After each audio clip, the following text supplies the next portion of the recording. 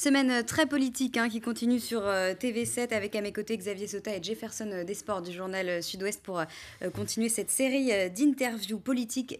bonsoir à vous, messieurs. nous étions donc hier avec le maire de Bordeaux, hein, Nicolas Florian, candidat au municipal, et nous sommes aujourd'hui avec Pierre Urmic. bonsoir à vous, Pierre Urmic. on rappelle donc que vous êtes conseiller municipal et métropolitain d'Europe Écologie Les Verts ici à Bordeaux. Alors on l'a vu, hein, l'écologie, c'est vraiment un des sujets majeurs de cette euh, campagne. On en parlait hier avec euh, Nicolas Florian. Est-ce que vous, vous êtes candidat aux élections municipales, Pierre Humic Deux questions. La première, est-ce que c'est un sujet majeur? Non, c'est le sujet majeur. La, preuve, tous les candidats sont en train de se positionner plus ou moins droitement d'ailleurs, on en parlera, mais en tout cas se positionne par rapport à l'enjeu, à l'enjeu écologique, ce qui est quand même une bonne chose. Donc c'est le sujet majeur. La deuxième réponse sera plus évasive. Euh, je ne suis pas ce jour candidat. Je travaille avec mes amis écologistes bordelais condition euh, d'une liste de rassemblement pilotée par les écologistes de Bordeaux, mais c'est un vrai travail et nous nous donnons euh, encore un peu de temps pour euh, affiner la stratégie. Vous pensez être en mesure justement de pouvoir amener ben voilà, toute cette famille, on va dire, plutôt de gauche quand même, Pierre Hermic, puisque c'est davantage dans cette direction que vous allez, vous allez pouvoir faire la mêlée? Alors, je vais vous dire plusieurs choses. D'abord, c'est plus compliqué, pour nous, c'est plus compliqué que pour d'autres d'être candidat. Vous dites, quand vous êtes adoubé j'ai envie de dire, intronisé par le maire sortant qui vous dit voilà, voilà mon dauphin, voilà celui qui doit me succéder, c'est relativement facile. Quand vous êtes adoubé par un parti politique national euh, qui a décidé d'apporter dans l'escarcelle du président de la République un certain nombre de villes qui ont décidé de planter leur drapeau sur Bordeaux, c'est assez facile d'être candidat. Euh, quand vous considérez que la candidature à la mairie, c'est d'abord une aventure personnelle, que c'est votre destin et que vous avez envie d'y aller coûte que coûte parce que vous avez déjà exercé des responsabilités locales ou nationales, avec d'ailleurs le bonheur qu'on connaît. Euh, c'est plus facile, c'est une décision personnelle, c'est facile. Moi, c'est tout sauf une décision personnelle. C'est vraiment une décision, c'est vraiment une décision collective. D'abord, une décision des écologistes bordelais, je peux vous dire, effectivement, euh, le, travail, le, travail, le travail est un peu fait. mais clairement, Pierre, vous nous dites que vous n'êtes pas candidat, mais vous y travaillez, vous affinez la stratégie, donc vous serez candidat? Non, j'attends de voir si les conditions que l'on a mises euh, sont remplies ou non. Moi, j'étais très clair. Au mois de juin, non, au mois de juin, on a lancé notre campagne officiellement au mois de juin, pour pas être en reste par rapport aux autres euh, candidats, en disant, nous, la campagne, elle va reposer sur ce qu'on appelle l'appel de Bordeaux.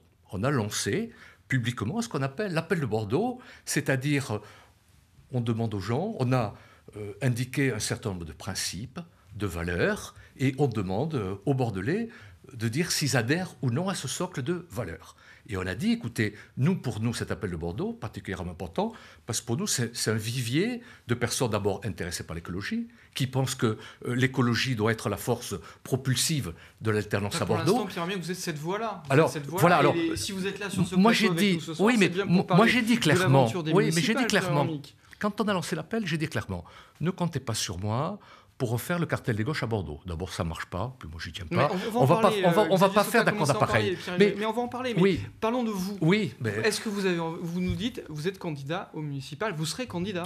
La candidature euh, des écologistes sera annoncée à la fin du mois de, à la fin du mois de septembre. Euh, on n'est pas candidat sur On n'est pas candidat. Arrêtons de tourner. Il n'y a pas 36 noms qui émergent à Bordeaux pour être le candidat écologiste. J'en sais rien. Il peut y en avoir d'autres qui émergent. Vous en avez envie Moi, je, suis alors, je suis un garçon assez déterminé hein, dans la vie d'une façon générale. Je peux vous dire que quand je serai candidat officiel, je serai extrêmement déterminé pour faire en sorte qu'on gagne. Euh, je suis assez opiniâtre, je pense qu'on me reconnaît un peu cette qualité, même Alain Juppé à partir me, me l'a reconnu, cette qualité. Donc, euh, effectivement, mais ne me faites pas brûler les étapes. Je vous dis, Aujourd'hui, je ne suis pas encore officiellement, donc vous pouvez mettre ce que vous voulez derrière ce mot officiel, je ne suis pas officiellement candidat à la fin du mois de septembre. J'ai envie que les conditions soient réunies. Alors, il y a une qui est réunie, vous avez compris, c'est peut-être un peu ma, détermination, mais j'ai envie de voir si je suis en mesure d'incarner ou non un rassemblement. Si les gens disent, nous, on ne veut pas partir avec les écologies parce que Urmic, on l'a assez vu, on veut, on veut plus le voir, mais je suis aussi capable, je suis aussi capable de l'entendre. Est-ce que je peux incarner un rassemblement, non seulement des écologistes, mais au-delà, surtout si on veut gagner. Euh, voilà, si je suis l'homme de la situation. quel, est l'horizon pour dire les choses clairement? Fin septembre. Fin septembre. Vraisemblablement, je crois que c'est aux alentours du 26. si vous êtes candidat fin septembre, vous aviez sauté peut-être une question sur, euh, sur, le rassemblement. Vous avez passé l'été, vous avez beaucoup travaillé cet été. Il y a eu, je crois, une dizaine de réunions. J'ai rencontré ben, beaucoup de gens. Entre ben, le Parti Socialiste, ceux non, pas le, Parti Socialiste. Je ne rencontre pas les partis politiques. Alors qui J'ai dit je ne veux pas une coalition de partis politiques. J'ai rencontré des personnalités appartenant au Parti, au parti Socialiste qui ont l'expérience de l'exercice du pouvoir, qui ont signé d'ailleurs pour cette, entrée qui ont signé. Mais regardez l'appel de Bordeaux. Alors, L'appel de Bordeaux, je le dis pour vos spectateurs, si certains veulent le signer, c'est très simple, c'est bordeaux-écologie.fr. Bordeaux-écologie.fr. Je ne vais pas vous demander de l'incruster en bas d'écran, mais donc. Euh, non, bordeaux il y a en bas de l'écran. ouais, ça ne me gênerait pas qu'il y ait bordeaux-écologie.fr. Mais donc, beaucoup de gens ont signé cet appel. On est actuellement à peu près 500 à l'avoir signé quand même. C'est J'appelle ça l'appel des 500, persuadé que demain, ça sera l'appel des 1000. Hein. Mais aujourd'hui, c'est l'appel, l'appel des 500. C'est un vivier. Et dans ce vivier, on a dit aux gens, si vous êtes d'accord pour que votre nom soit rendu public, vous cachez la, case ici. Si vous ne souhaitez pas qu'il soit rendu public, vous nous l'indiquez également. Je peux vous dire qu'il y a des personnalités politiques locales qui l'ont signé, comme Mathieu, Mathieu, Rouvert, Emmanuel Ajon et, d'autres. Et d'autres. Alors justement, euh, dans cette triangulation, on le disait, euh, l'écologie, vous le disiez vous-même, Pierre c'est le thème central qui va façonner. C'est mmh. probablement le courant de pensée et la grande idéologie euh, de ce début de siècle, dirons-nous. Vous parlez de cartel des gauches, vous dites que c'est compliqué. Est-ce que Pierre Urmic peut rassembler une famille, alors certes société civile, ex-socialiste, des personnalités, mais aussi des insoumis, puisque sur ce coup-là, il y a quand même une chance historique d'alternance à Bordeaux. Est-ce que vous pouvez aller jusqu'aux insoumis, Pierre Urmic? Les insoumis, j'ai rencontré, moi j'aime bien, euh, j'aime bien Prudhomme, que je trouve un bon, un, bon, un bon député, un bon parlementaire. Les insoumis sont dans une stratégie nationale où ils vont présenter des candidatures sur toute la France. Je comprends que leur famille de pensée ait envie d'être représentée dans toutes les grandes villes en tant que telles. Donc voilà, les insoumis vont vivre leur vie. Euh, vous a échappé qu'on n'est pas d'accord sur tout avec les insoumis. Donc, moi, ça ne sera pas un rassemblement artificiel hein, en disant il faut qu'on se dise tout pour faire croire qu'on s'entend bien. C'est pas du tout ça. C'est de dire il y a des principes, il y a des valeurs, ceux qui s'y reconnaissent, ils adhèrent, et après, c'est un vivier pour composer le rassemblement. Pierre vous dites euh, que vous ne discutez pas avec les partis politiques. Finalement, mmh. c'est très euh, macroniste comme, comme démarche. Voulez-vous aussi dépasser les étiquettes, dépasser les partis? C'est un reine macroniste. Macroniste, il a composé le parti politique le plus politicien euh, de l'histoire récente de la, 5e, République. Enfin, euh, c'est le parti jupitérien par excellence où à Paris on dit ben, on va envoyer Cazenave à Bordeaux. Euh, on, va, y venir, on va y venir. Ça, c'est un parti politique. On ne peut plus traditionnel. Laissez-moi espérer quand même une autre vision de la politique. On va parler justement peut-être de votre vision hein, plutôt que de, parler. Euh, on a compris qu'on ne saurait pas euh, ce soir si vous êtes officiellement candidat. Non, euh, pas encore en tout cas. On, a à peu près compris. Hein. mais on va parler des projets quand même puisque vous, vous êtes là pour ça, parler des projets, ceux des autres candidats et puis ceux de, du rassemblement écologiste à laquelle mm. vous pourriez en être à, la tête de ce, de ce rassemblement. on l'a vu donc on l'a dit, hein, l'écologie elle est vraiment au cœur de cette de cette campagne. Qu'est-ce que vous pensez euh, Par exemple, euh, on en a parlé hier avec Nicolas Florian. On sait que Thomas Cazenave a, beaucoup euh, écrit là-dessus sur ces projets de revégétalisation, ces projets de, de planter des arbres. Comment vous les voyez, ces projets des autres candidats, vous? Alors, d'abord, je vais vous contredire c'est pas l'écologie qui est au cœur de la campagne chez nos concurrents, c'est l'environnement. C'est l'environnement. Mm. C'est-à-dire, ils rêvent tous de planter des arbres partout. Enfin, franchement, il y a une espèce de course à l'échalote autour de la plantation d'arbres à Bordeaux. Vous avez Florian qui dit Moi, je vais en planter 3000 par an. Euh, le candidat d'En Marche, il dit Moi, ça va être 5 000, après demain, ça va être 6 000. Ne comptez pas sur moi pour vous dire Nous, ça sera 10 000. Alors, vous, c'est euh, des arbres ou plutôt autre chose Non, mais les arbres, alors, c'est une vision de l'écologie qui est un peu la nôtre il y a à peu près une trentaine d'années, quoi, je dirais, où euh, l'écologie, c'était effectivement verdir les villes, planter des arbres. Je trouve ça très bien, personnellement. On s'est suffisamment battu pour qu'on arrête d'arracher, d'abattre des, arbres dans cette ville place Gambetta et qu'on en plante davantage. moi, je, je, trouve ça très bien. Mais franchement, est-ce que vous pensez un instant que c'est ce concours, l'épine euh, de la plantation d'arbres, il est à la hauteur du défi climatique. Enfin, défi climatique, c'est pas mettre des arbres en pot euh, sur la place, euh, sur la place Péberlan. Enfin, moi, j'ai appelé ça la politique des petits pas et des petits pots. C'est quoi, votre, Alors, quoi votre ligne environnementale Mais ça ne sera pas le, le, concours des balcons fleuris, quoi, comme euh, s'apprête vraisemblablement à le faire le maire de Bordeaux. Ce n'est pas ça. Ça sera vraiment une vision écologique de la ville. Et ma divergence majeure, et je vais entrer plus en détail, j'ai été sidéré de voir que le candidat, le candidat d'En Marche, lors de sa conférence de presse, c'est vous qui avez dû la couvrir sans doute, qu'est-ce qu'il a dit? Il a dit Je veux faire une ville verte à visiter. Enfin, je, je, dis, alors là vraiment, on ne vit pas dans le même monde. Nous, on ne veut pas faire une ville verte à visiter, on veut faire une ville verte à habiter. C'est là où on est divergent majeur. L'enjeu, c'est pas de verdir la carte postale, quoi, comme euh, le font euh, nos principaux quoi, concurrents. Du coup, Comment c'est La question, c'est plutôt la voiture, c'est plutôt alors, euh, la pierre. On oui, dans mais, une ville, dans une ville mais minérale, oui, Bordeaux, vous le Bien savez. sûr. Il ne s'agit pas de sortir des gadgets écolos comme euh, euh, certains sont en train de le faire actuellement. La vision des déplacements, pour nous, c'est là où on a une vision, je dirais, peut-être plus globale que celle de nos concurrents. Euh, vous ne pouvez pas parler circulation à Bordeaux sans parler logement on a tellement pris l'habitude de cloisonner euh, les délégations, les postes d'adjoints, etc., si bien que l'adjoint au logement s'occupe du logement, l'adjoint des déplacements s'occupe des déplacements. Tout ça ne fonctionne jamais ensemble. Si vous arrivez à régler le problème du logement de Bordeaux, qui est pour moi, je dirais, un des plus importants, c'est-à-dire la ville s'est quand même vidée ces derniers temps des classes moyennes, avec des loyers et des prix d'acquisition totalement inabordables. On s'étonne que beaucoup de gens qui habitaient Bordeaux maintenant habitent la périphérie, viennent travailler à Bordeaux, puisqu'on a continué à concentrer donc, les emplois à Bordeaux. l'écologie dans ce sujet-là Mais l'écologie, c'est d'abord une vision globale. C'est de dire, vous ne parlez plus des déplacements si vous n'abordez pas la question de logement. Et nous, je peux vous dire, je ne vais pas vous décliner aujourd'hui notre programme. Imaginez bien qu'il n'est pas, il est pas encore. Mais non, il n'est pas prêt. On est quoi Six mois des élections? Trouvez-moi un candidat. À part des gadgets, des gadgets, je peux vous en sortir. je peux vous sortir la liste des courses, hein, comme les autres. Fil directeur. Oui, fil directeur. Mais c'est de faire en sorte que la voiture ne soit plus le mode de déplacement obligatoire à Bordeaux.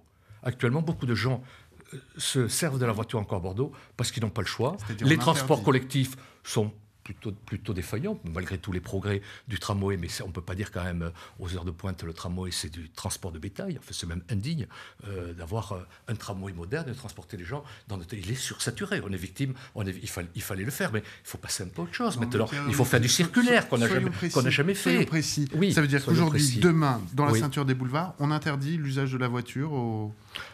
J'ai vu que certains voulaient interdire le stationnement. Alors, voilà, avis, mais non, mais le stationnement, c'est pas les voitures stationnées qui polluent, c'est les voitures qui circulent, quoi. Mais comment on fait Comment vous faites? C'est-à-dire, il y a un arrêté municipal du maire Pierre oui, qui ah ben, dit pas de voiture. C'est de dire aux gens, vous pouvez vous dispenser de voiture parce que nous, nous mettons à votre disposition de vraies alternatives. C'est-à-dire des parkings de dissuasion à la périphérie. Actuellement, moi, je vois beaucoup de Bordelais qui me disent, mais vous me reprochez de me garer devant chez moi, mais où voulez-vous que je me gare? Où voulez-vous que je me gare? Moi, j'ai envie qu'ils se garent à la périphérie, ces gens-là. personne, c'est impossible de se déplacer sans voiture euh, aujourd'hui quand on oui, habite pour ça que je vous dis que la voiture est obligatoire. Alors, des, des parkings à la périphérie, que les gens puissent laisser leur voiture à un, à un, à un endroit précis, qu'ils soient rapatriés vers le centre-ville par des transports collectifs euh, performants, euh, et puis des, trans, des, des, trans, des, transports qui fonctionnent.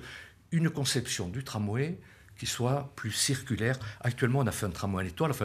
Les, nos principaux concurrents ont l'air de réaliser enfin qu'il oui, fallait arrêter d'aller de plus en plus loin. Enfin, ils ont tous voté, je vous rassure. Le tramway, ça met d'Aranjal, euh, pratiquement 100 millions d'euros, mais pour aller chercher les gens le plus loin possible et encore accentuer l'étalement urbain. Ils sont pratiquement tous d'accord là-dessus parce qu'on a été les rares à voter contre. Mais, donc, ils veulent continuer à faire du, euh, du tramway en étoile, contrairement à ce qu'ils disent. Ils veulent faire encore un métro. Ils veulent faire un métro qui ira. Alors, j'étais stupéfait de dire ça. De dire ça. Euh, un métro. on l'a évoqué. Patrick Bobet, oui. euh, patron de la métropole. C'est une, ânerie. Plus d'un milliard, un milliard quatre. Euh... C'est une ânerie. Plusieurs raisons. D'abord, euh, c'est un tramway qui ira de l'Arena. Un métro.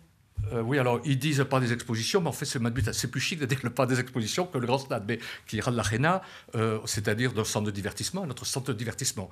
Est-ce que vous croyez sincèrement que cette ligne de tramway à 1,4 milliard euh, va résoudre le problème d'engorgement de la rocade. Actuellement, on souffre de ça. Dites aux gens qui sont actuellement bloqués sur la rocade que dans 15 ans, ils auront un tramway qui ira de la Rennais au, grand stade. Vous croyez que ces gens-là vont dire Ah oui, chouette, on a réglé le problème Non, nous, le problème numéro un des déplacements, et la métropole tardivement, mais a commencé à le faire, et nous, nous l'encourageons à persister, et si nous gagnons, nous mettrons vraiment le paquet là-dessus, c'est le, le, RER métropolitain. La plupart des gens qui circulent sur la rocade, sur les boulevards, c'est surtout des gens qui viennent travailler à Bordeaux, oui, là... et donc qui ne demandent pas mieux que de venir à Bordeaux avec une, offre, une autre offre de transport collectif. Celle-là, elle n'est pas compliquée à faire. Je crois que c'est à peu près, la participation à la métropole sera à peu près de l'ordre de 300 millions, 300 millions d'euros pour avoir un, un, RER cadencé toutes les, toutes les 5 minutes. C'est tout à fait réalisable. C'est autre chose qu'un un, un, petit tramway à 1,4 milliard. Oui, l'idée c'était aussi de décongestionner le tramway qui commence déjà à être saturé oui. aux heures de pointe. Oui, Donc, oui le, mais le avec un tramway, vous allez décongestionner avec un tramway dans 15 ans. Enfin, la politique, c'est du, court terme, du moyen terme et du long terme. Il y a un problème vraiment à court terme. Nous, il y a au moins 20 ans qu'on fait des propositions pour la rocade en disant il faut qu'il y ait une ligne dédiée au covoiturage pour vraiment inciter les gens à faire du covoiturage. Je vous promets que si la ligne dédiée au covoiturage circulait facilement sur la rocade, la plupart des gens feraient du covoiturage. Euh, un péage au poids lourd. Mais sur la mobilité, on peut avoir des réponses à court terme? Celle-là, ce que je vous dis, c'est pas compliqué. Voie de la voie de, voie de, covoiturage, des parkings, de, des parkings de, dissuasion. Non, je ne vais pas parler de urbain. Péage pour les poids lourds. C'est quand même pas normal que des, des, poids, des poids lourds puissent se traverser comme ça à n'importe heure. Nous, on est pour un péage poids lourd avec des tarifs dissuasifs en fonction des horaires. C'est-à-dire la rocade est surtout bouchée, bouchée le matin aux heures d'embauche et de débauche. Euh, et donc, euh, à ce moment-là, si, des poids lourds veulent traverser la rocade, c'est là que ça coûtera le plus cher. On va les inciter à, venir, à traverser la rocade à des heures où ils seront moins ponctionnés financièrement. Est-ce que vous nous dites que le maire de Bordeaux aujourd'hui a cette capacité-là, en tout cas, euh, pas coercitive, mais en tout cas de, incitative, et est capable d'être moteur sur de telles propositions et d'être entendu? Oui, il faut qu'ils soient entendus par la métropole j'ai cru comprendre qu'entre le maire de Bordeaux et le président de la métropole, ils ne sont pas tout à fait sur la même longueur d'onde. Donc là, effectivement, ça ne fait pas beaucoup avancer, euh, fait pas beaucoup avancer la question. Hein. Moi, je pense qu'il faut que le maire de la ville-centre soit un osmose total avec le, président, le président de la métropole. Enfin, c'est quand même, euh, c'est pas de l'impérialisme de la ville-centre, mais c'est quand même nous qui sommes la principale force attractive de cette, euh, de, cette, de cette métropole. Donc, euh, je trouverais normal que le maire de Bordeaux s'impose davantage. Alors, Alain Juppé l'a fait, à mon avis trop, parce qu'ils étaient tous à garde à vous, que ce soit de droite ou de gauche. C'est Alain Juppé qui décidait de tout et mmh. personne ne mouftait. maintenant, j'ai peur que ce soit un peu l'ex inverse, avec un président qui n'a pas forcément la même envergure politique, et un maire de Bordeaux, euh, n'en parlons pas, qui n'a pas non plus la même envergure politique que celle qu'avait, euh, c'est pas être désobligeant que, que, que, de, que dire cela. Autre sujet, euh, vous en parliez au début, puisqu'on a parlé de mobilité, le logement. Alors, sans dévoiler votre programme, évidemment. Non, on ne pas le dévoiler parce qu'il n'est pas écrit encore. C'est pas du, je ne suis pas cachotier. Hein, ce, qui, semble assez probable, malgré tout. Euh, comment on fait le logement? C'est pas nouveau. Aujourd'hui, on est à plus de 5000 euros du mètre carré. Euh, comment on fait pour faire sortir des logements accessibles? Vous parlez des classes moyennes. Bordeaux est devenu une ville où les classes moyennes ont des difficultés à s'habiter. Mmh. Comment vous faites, vous, Pierre Hermic, maire de Bordeaux, pour que des logements à prix accessible sortent? On arrête de livrer la ville aux promoteurs immobiliers, ce qui est quand même le cas de ces dernières années. Moi, j'avais été sidéré il y a quelque temps, un, été, je vais, acheter, je vais acheter le journal, je tombe sur euh, la une de Le Figaro Magazine. Je vous rassure, c'est pas du tout ma tasse de thé, etc. Il, il était écrit Bordeaux, l'Eldorado des promoteurs immobiliers. Je me suis dit, tiens, mais c'est un journal qui dit des, fois des choses sensées. Bordeaux a été l'Eldorado des promoteurs immobiliers. Qu'est-ce qu'on a construit à Bordeaux? Des produits de défiscalisation, essentiellement. Regardez le bassin à flot, c'est 80% de ce qui se construit, c'est des produits de défiscalisation avec des loyers relativement onéreux. Je dis à un moment donné, c'est à la métropole, en l'occurrence, puisqu'elle a la compétence du logement, à dire quel type de logement on veut. Ce n'est pas les lois du marché. Juppé disait, c'est la loi de l'offre, plus on construit, plus les loyers baisseront, plus les prix d'acquisition baisseront. Il s'est passé exactement le contraire. Mm. C'est-à-dire que ça ne marche pas. Ça, il faut qu'on soit un peu plus directif. On a loupé l'établissement public foncier, je vous rappelle. On l'a loupé quand Vincent Feltès était président de la métropole il y pensait déjà un peu, je crois, à l'époque, mais il a été incapable de l'imposer à, Alain Juppé qui était contre. Et Alain Juppé, euh, quelques mois avant de partir, un établissement a réussi. public foncier régional. Pour vous, c'est un gadget qui ne servira pas Non, c'est pas un gadget, mais vous, maire de Bordeaux, vous mettez en place un établissement public. En tout cas, je fais fonctionner celui-là de façon beaucoup plus euh, prescriptive. Et encore, c'est un peu tard, quoi. Euh, du foncier, du foncier, il y en a de moins en moins. Ce qui coûte cher aussi dans l'acquisition, c'est le prix du foncier. Si on avait acquis des réserves à une époque où le foncier coûtait moins cher à Bordeaux, je vous promets qu'aujourd'hui, on trouverait sur le marché du logement moins cher. On parle d'une échéance qui est en 2020, mars 2020. Euh, qu'est-ce que vous faites? Vous arrivez, si jamais vous étiez. Alors, on a bien compris, hein, vous serez candidat, il n'y a pas de souci, arrêtons avec ça. Mais quand même, euh, Pierre Vermy, vous êtes euh, sur la question du logement. Est-ce qu'on peut. On a encore des marges de manœuvre dans cette ville? Oui, concrètement pour sortir des logements plus accessibles, dans des conditions avec peut-être des conditions de construction plus acceptables, avec moins de malfaçons, vous connaissez le sujet. Ah oui, bien, oui. Euh, c'est la camelote qu'on construit. Aller au bassin à flot, on construit en plus la camelote chère et cameloteux. Il ne tombe pas des balcons euh, toutes les semaines comme à Ginko, c'est un signe. aux choix qui ont été faits auparavant. Mais ce que vous êtes en train de nous dire quand on vous écoute, c'est qu'il y a quand même d'autres manières de faire. Oui, d'abord, euh, nous on est pour le, pour le blocage des loyers. On l'a dit clairement. On aurait dû le faire depuis longtemps. Je pense qu'on va être contraint de le faire, quel que soit le futur maire de Bordeaux, futur président de la métropole. Il le fera, le blocage des loyers. Toutes les grandes ça, métropoles ça vont y venir. Bah, je pense. Enfin, sinon, il faut être inconscient pour ne pas le faire. Donc, nous, en tout cas, on le fera. Ça, mhm. c'est sûr. Blocage des loyers. Également, réquisition des logements vides. Il y a un nombre de logements vides dans Bordeaux qui est, qui est, qui est hallucinant. Il faut faire en sorte que les propriétaires les mettent sur le marché. Alors, il y en a, vous savez, souvent des indivisions, enfin je connais un peu professionnellement, des indivisions qui mettent du temps à se régler. Là, effectivement, euh, il y a, une, zone, une zone de tolérance. Mais il y a, des, des, bâtiments qui sont vides à Bordeaux depuis, depuis 20 ans, depuis 10 ans l'égoïsme des propriétaires qui disent oh ben non, si je mets un locataire, je ne vais pas pouvoir me débarrasser. Moi, je l'entends tout le temps, Cisco. Il faut dire à ces gens-là ou bien vous leur mettez, nous, on a proposé une super taxation sur les logements vides en disant vous ne jouez pas le jeu de la collectivité, vous stérilisez un bien qui normalement devrait être loué, euh, vous allez payer un impôt plus, plus important que les autres. Je vous promets que ça peut être dissuasif pour qu'ils mettent sur le marché la location. Donc, au lieu de construire tous azimuts, à la Jalère et ailleurs. Au lieu de construire tous azimuts, vous euh, faites en sorte de d'user. Alors moi, on a, nous, on a demandé au maire de Bordeaux déjà un inventaire. Ça n'a jamais été fait. Un inventaire des logements vides sur Bordeaux. non, on l'a pas. je ne sais pas si l'on la mairie, mais en tout cas, il ne le communique pas. Vous évoquez la Jalère, on va en parler, mais un peu plus globalement, il y a une petite musique qui court aujourd'hui, et certains candidats qui le proposent, c'est-à-dire de stopper les grandes opérations immobilières. On en parle ici sur la rive droite. Sur la Jalère, il semble que l'aspect immobilier soit, bah voilà, été barré d'un trait de plume par le maire de Bordeaux. Vous êtes favorable à ça Vincent Feltels parle d'un moratoire. Vous êtes en ligne avec ça? Je ne sais pas si je suis en ligne avec lui, mais en tout cas, je peux vous dire, je ne suis pas en ligne avec ceux qui rêvaient d'une agglomération millionnaire il n'y a pas très longtemps. C'est-à-dire Alain Juppé, Vincent Feltès, euh, rêver d'une agglomération millionnaire. Je pense que c'est une bêtise, l'agglomération millionnaire. L'agglomération millionnaire, ça veut dire bétonner systématiquement tous les, derniers espaces naturels qui viennent en, ville pour euh, construire, construire, construire. Ça, je pense que c'était une ânerie. Nous, ce que l'on dit depuis des années, il faut bâtir la ville sur la ville, c'est-à-dire les endroits qui sont déjà urbanisés, notamment les échoppes, il ne faut pas hésiter de monter d'un ou deux étages. Mais surtout, il faut sanctuariser nos derniers espaces verts. Donc là, nous, sommes en dissidence totale par rapport aux aménageurs classiques de la, de, la, de la, ville de Bordeaux. Donc il faut, il faut construire, mais il faut construire là où c'est déjà, là où déjà construit. Euh, justement, on a mentionné hein, ce, projet de la Jalère dont on a parlé hier avec Nicolas Florian. Il en a reparlé dans sa, sa conférence de rentrée. Euh, il a donc officialisé euh, l'arrêt de ce projet immobilier euh, euh, dans la Jalère Non, non, non c'est pas une bonne chose pour vous. Il est dans la com. Il est uniquement dans la com. Moi aussi, j'avais compris, comme vous,